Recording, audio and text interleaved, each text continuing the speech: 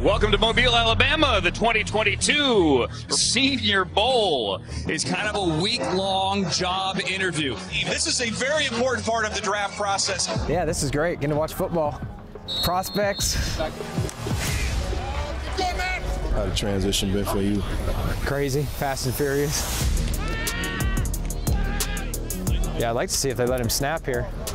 Uh-oh, a little underneath that one. Just get me on the field in the corner, let me watch the ball. How you doing, man? Joe Schoen. I'm with the Giants. Have you guys seen the Southern kid at all? Central Michigan guy. Did you guys talk to the Washington State kid at all? San Diego State. It's good to be here doing this. Borrow your stopwatch. It's your guy. He's tough. He's strong. He had some nasty to him. Coming in hot. I liked him a year ago. Your guys fly around, play the right way. I'm telling you, I enjoyed watching your defense.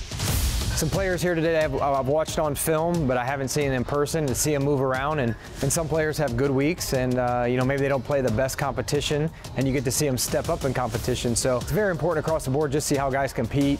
Uh, what type of shape they're in. You know, some people haven't played you know football in a month or two, so uh, you can kind of tell you know how serious they take it and how their process is. Hall of Famer right there. Glad to be here doing football stuff. I'm like, I get it. This guy's good. a lot of scouts here in terms of our personnel staff, so you know I like to stand on the sideline.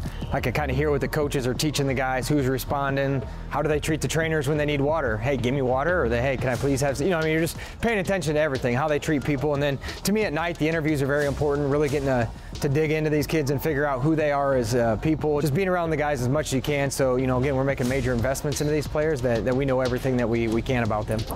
Fordham, anybody go see him? Isn't that close to the facility? Strange has, I like his face mask. He's got the old school. No gloves. I noticed that on uh, film. I didn't notice the no gloves, but I noticed the old school face mask.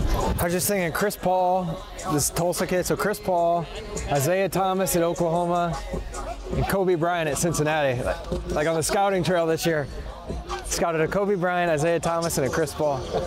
In it together, building it together, know, come up with a plan and try to see it through the best we can. Saw him plays. I don't know how fast he is. I told him, I said, we need 100 guys like you.